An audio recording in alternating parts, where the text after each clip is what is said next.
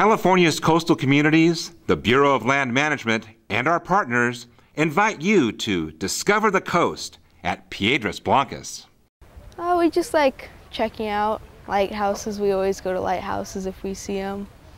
And it was like a cool, um, I forget what you say, it was like a National Lighthouse Day today. And we saw that they're doing like the special reenactments. So the tour around the grounds has been really enjoyable. Them talking about the wildlife and everything that you see. Um, we've I've enjoyed that a lot. I liked seeing like the aquatic animals, like as they point them out as we go by the trail. I liked that.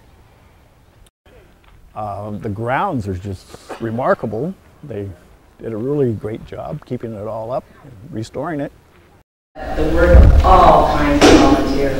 This would not have happened without all kinds of volunteers.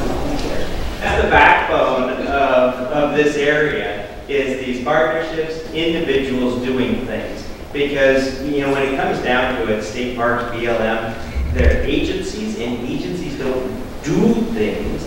The people within those agencies, public servants, can do things. But really, it's the people who are doing everything.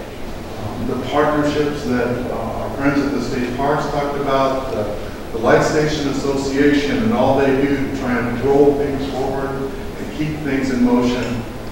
But above all, what impresses me, uh, the work of the volunteers that we saw in action here today.